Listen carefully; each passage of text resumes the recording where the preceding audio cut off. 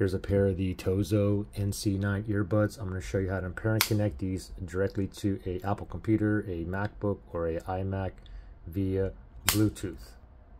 So the first thing is, let's just go ahead and put this in the pairing mode, okay? So both earbuds in, I'm going to open the lid here. Now, as soon as you open up, if you're not paired to another device around you, give it a few seconds, and you should see two blinking lights, a blinking light on each of the earbuds, blinking simultaneously white, okay?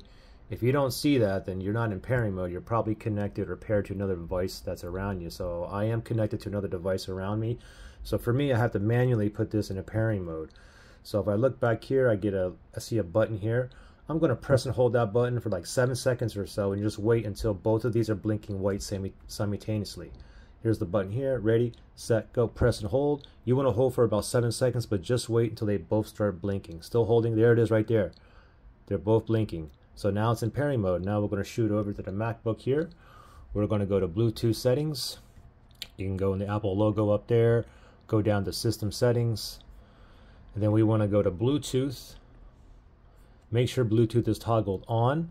And then if you look below here, that little circly thing, it's searching for devices that is pairing mode near me. These are in pairing mode. They're blinking white, white.